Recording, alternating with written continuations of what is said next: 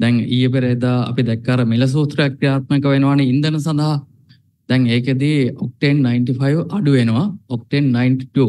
සාමාන්‍ය බයිසිකලයකට, ත්‍රිවිල් එකකට, ට්‍රැක්ටර් එකකට ගහන්නේ භූමි තෙල් ටිකකුත් කවලම් කරලා මේ 92 තමයි ගහන්නේ මෙතුමා.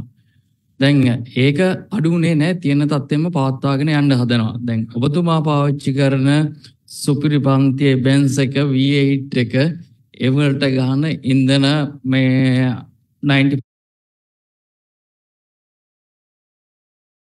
එක අඩු වුණා. ඉතින් දැන් අවුරුදු කාලෙත් එක්ක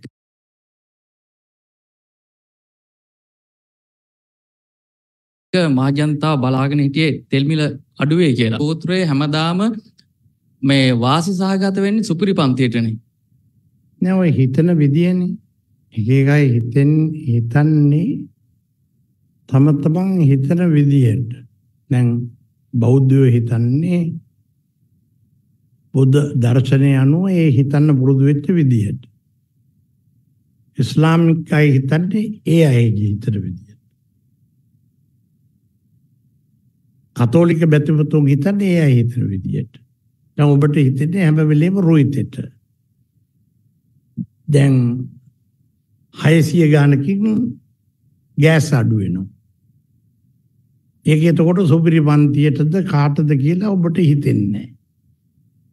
ඔබට හිතෙනවා මේ සුපිරි ඩීසල් අඩු වෙනවා කියලා. එතකොට ඒක තියෙන්නේ V8 වලට විතරයි කියලා හිතෙනවා. ඒ වුණාට මම ප්‍රවාණමෙත් විදියට දන්නවා මේ අධිවේගී මාර්ගයේ දුවන බස් රථ සියල්ලම වගේ දුවන්නේ අර සුපර් ඩීසල් කියන ඒවා. පොදු ප්‍රවාහනි. බස් එක ටික ඔක්කොම දුවන්නේ සුපරි ඩීසල් වලින්. මේක මිල සූත්‍රයක් හදාගෙන තියෙන්නේ දීර්ඝ කාලයක් තිබුණ වැරැද්දක් නිවැරදි කරන්න. දිග කාලයක් මේ රටේ මිල සූත්‍රයක් නැතුව කරලා වෙච්ච දේ තමයි අන්තිමට තෙල් කඳුලක්වත් ගේන්න සල්ලි නැතුව පෝලිං වල දවස් ගණන් හිර වෙලා මිනිස්සුયો ඉඳලා පෝලිම ඇතුලේ මිනිස්සු මිනිමරාගෙන ඊට පස්සේ එතන රණ්ඩු සරුවල් වෙලා ගිනි ගණන් වලට කළු කඩේ ගන්න වෙන්නේ තත්වය නතර වෙලා ලෝක වෙළඳ පොලේ පවතින ක්‍රමය අනුව තමයි දැන් තෙල් මිල තීරණය වෙන්නේ ඉස්සර අපි ඉතිහාසය කළා තියෙන්නේ ලෝකේ වැඩි ගානට තෙල් ගෙනල්ලා අඩු ගානට මිනිස්සුන්ට තෙල් විකුණලා. ඒක ලෝකේ කාටවත් කරන්න බැරි දෙයක් කරන කෝටි ප්‍රකෝටි ගණන් khනිජ තෙල් සංස්ථාව පාඩු විදලා. දැන් එතකොට රට බංකොලොත් වෙලා. ඒ අනුව දැන් තියෙන්නේ ඒ ඝනකජ්ජයන් විසින් ගණනය කරන ඝනකාධිකාරීවරු විසින් මෙල සූත්‍රයක් හදාගෙන තියෙනවා.